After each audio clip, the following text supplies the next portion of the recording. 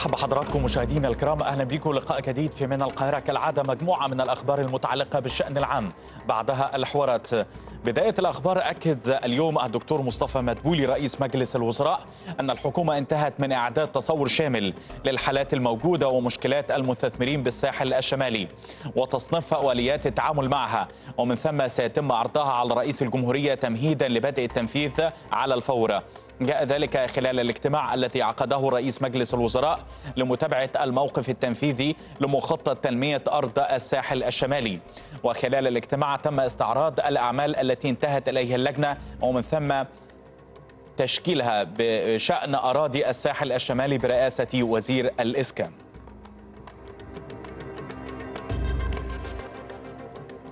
شهد الفريق أول محمد زكي القائد العام للقوات المسلحة. وزير الدفاع والإنتاج الحربي حفل إنتهاء فترة الإعداد العسكري.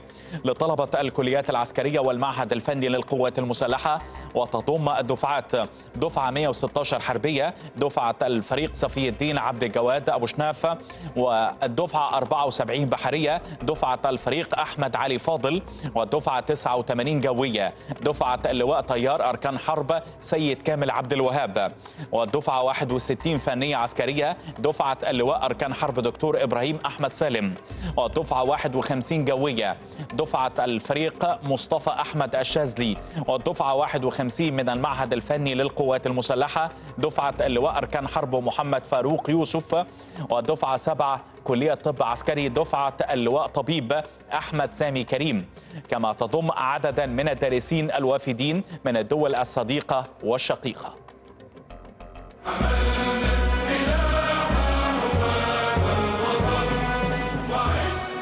شهد الفريق أول محمد زكي القائد العام للقوات المسلحة وزير الدفاع والإنتاج الحربي حفل انتهاء فترة الإعداد العسكري لطلبة الكلية العسكرية والمعهد الفني للقوات المسلحة. وتضم الدفعات عددا من الدارسين الوافدين من الدول الصديقة والشقيقة. وقدمت مجموعات من طلبة الكليات العسكرية عرضا رياضيا استعرضوا فيه كفاءتهم البدنية. أعقبها قيام مجموعة أخرى من الطلبة برسم لوحة فنية لاسم مصر وتشكيل رقم الدفعة 116 حربية بأجسادهم.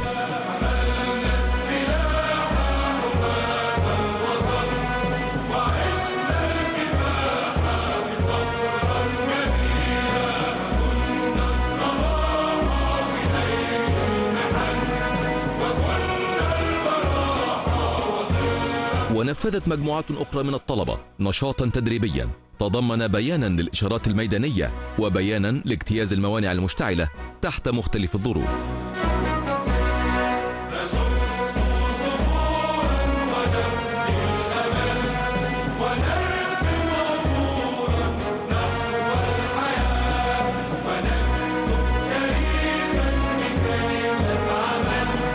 وقامت مجموعات من الطلبة باستعراض مهاراتهم في فك وتركيب الأسلحة ليعكسوا لنا المستوى المتميز الذي وصلوا إليه.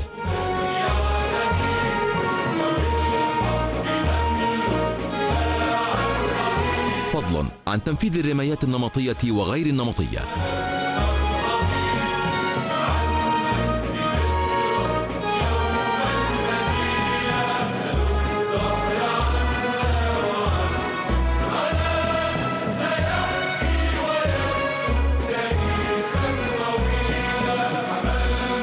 كما نفذت مجموعات أخرى من الطلبة عرضا لمهارات التعليم الأولي.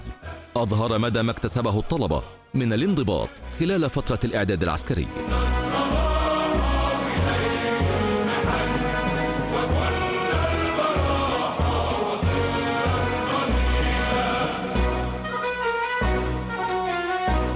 واختتم الاحتفال بالعرض العسكري للطلبة. تقدم العرض قائد طابور العرض وحملة الأعلام ليظهر لنا مدى ما وصل إليه الطلبة من انضباط عسكري عال وتوحيد في الأداء.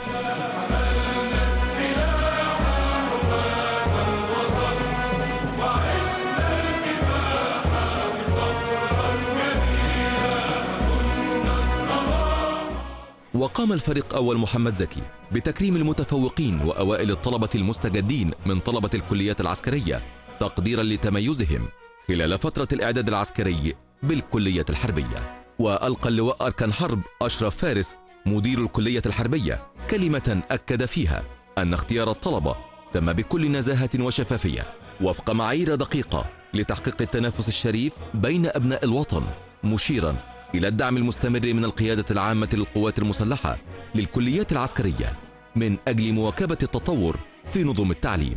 وفي نهاية الاحتفال نقل الفريق أول محمد زكي رسالة تقدير واعتزاز من السيد الرئيس عبد الفتاح السيسي رئيس الجمهورية القائد الأعلى للقوات المسلحة لأسر الطلبة على الجهد الذي بذلوه في تنشئة هذا الجيل من أبناء الوطن على القيم والمبادئ الأصيلة لشعب مصر العظيم.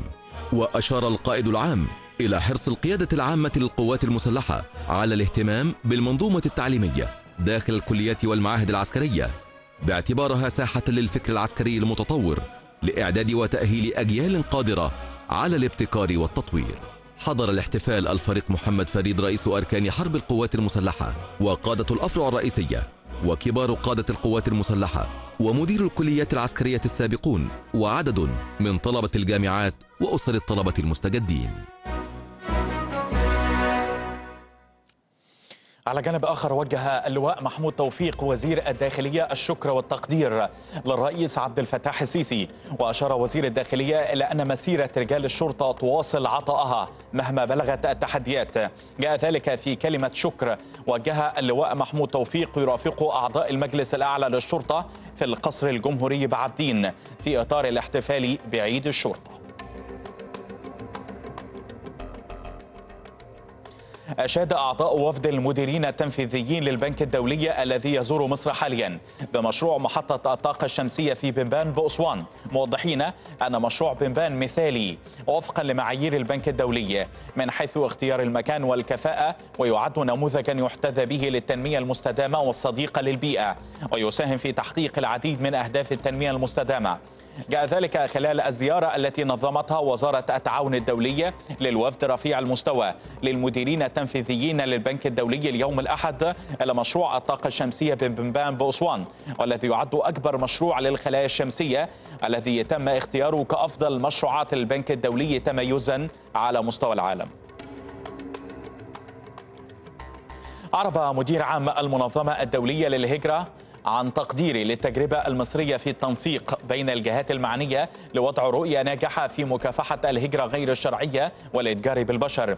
جاء ذلك خلال اللقاء الذي عقدته السفيرة نائلة جبر رئيسة اللجنة الوطنية التنسيقية لمكافحة الهجرة غير الشرعية والإتجار بالبشر اليوم الأحد مع مدير عام المنظمة الدولية للهجرة. وأشاد بالاستراتيجية الوطنية لمكافحة الهجرة غير الشرعية والتي تبنتها مصر. والمنظومة المتكاملة التي تتمتع بها مصر مما جعلها من أوائل الدول التي تتبنى رؤية متكاملة لمكافحة الظاهرتين. اختارت مؤسسة أو المؤسسة اختارت المؤسسة العالمية. براند فاينانس العالمية اختارت مصر ضمن 100 علامة. اختارت قائمة مصر اختارت مصر من ضمن المائة دولة. الأعلى قيمة وقوة على مستوى العالم حيث أكدت أن مصر نجحت في تحقيق 50% في معدل نمو مؤشر العلامة التجارية الوطنية. هو الأسرع نموا بين العديد من العلامات التجارية الرائدة في إفريقيا والشرق الأوسط وأمريكا اللاتينية. وبحسب التقرير السنوي للمؤسسة قفزت مصر إلى المرتبة الخامسة على قائمة أسرع 20 علامة تجارية نموا على مستوى العالم في عام 2019 متفوقة على كل من تركيا والصين وقطر واليابان. كما ارتفع ترتيب مصر لرقم 100 في العلامات التجارية الوطنية الأعلى قيمة على المستوى العالمي. عقدت لجنة استرداد أراضي الدولة ومستحقاتها اجتماعها الدورية لمتابعة إجراءات التقنين بالمحافظات. ترأس الاجتماع مجدي عبد الغفار مستشار رئيس الجمهورية لشؤون الأمن ومكافحة الإرهاب الذي أكد مراعاة لجان التسعير بالمحافظات عدم المغالاة. ومراعاة البعد الاجتماعي والتفرقة بين من تربحوا واستفادوا من الأراضي التي تم وضع اليد عليها وبين من أقاموا عليها سكنا نظرا لظروفهم المعيشية الصعبة. كما أكد أن الهدف هو التقنين وتحصيل حق الدولة لكن في الوقت ذاته عدم المغالاة على المواطنين خاصة في تقنين المباني بالقرى. وأشار كمان عبد الغفار إلى ضرورة تنفيذ القانون والتفرقة بين وضع اليد الجاد ووضع اليد المغتصب.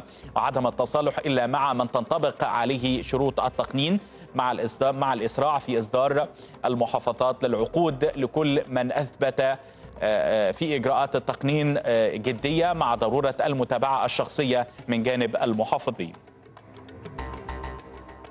عندنا كمان قالت وزيرة التضامن الاجتماعي الدكتورة نيفين القباج. أن برنامج فرصة بيستهدف خمسين ألف مستفيد. برنامج فرصة بيستهدف خمسين ألف مستفيد في المحافظات خلال المرحلة الأولى. منهم 1708 من مستفيدي برنامج تكافل وكرامة بمحافظة الوادي الجديد في سن العمل ممن تتراوح أعمارهم بين 21 إلى 35 عام.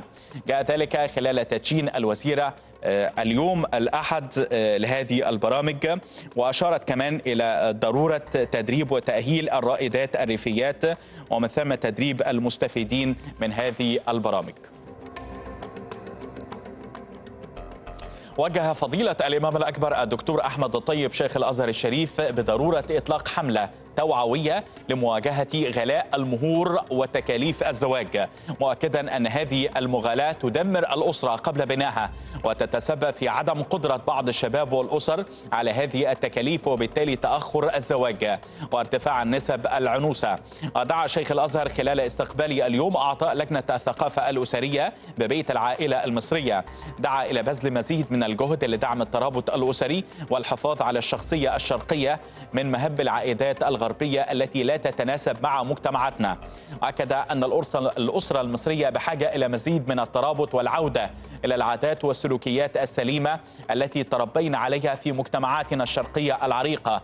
وكذلك القضاء على سلوكيات الخطأ التي أخذت في الانتشار خلال الآونة الأخيرة.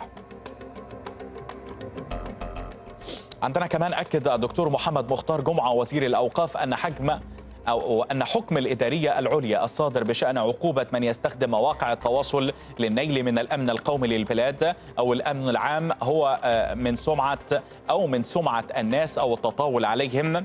يتسق مع حرص الدين والقانون على صيانة الآداب العامة وترسيخها والأعراض وحمايتها. وما أكدت عليه الوزارة في خطبة الجمعة الماضية عن الآداب العامة. وقال كمان وزير الأوقاف في بيان اليوم الأحد أن هذا الحكم يتسق أيضا مع حماية المجتمع وحماية الأوطان التي هي من صميم مقاصد الأديان. ده كان استعراض لمجموعة من الأخبار المتعلقة بالشأن العام. عندنا اليوم حوارين الحوار الثاني بنتكلم فيه مع حضراتكم عن قمة الاستثمار البريطانية الإفريقية كيف يمكن تعظيم هذه القمة أو تعظيم الاستفادة من هذه القمة. هيكون معنا في هذا الحوار الأستاذ بهاء محمود الباحث بمركز الأهرام للدراسات السياسية والاستراتيجية. أما الآن عندنا حوار مهم. الرئيس السيسي بيطرح رؤية مصر لحل الأزمة الليبية في قمة برلين. هيكون معنا في هذا الحوار بعد قليل السيد اللواء محمد عبد الواحد الخبير في قضايا الأمن القومي بعد قليل. ابقوا معنا.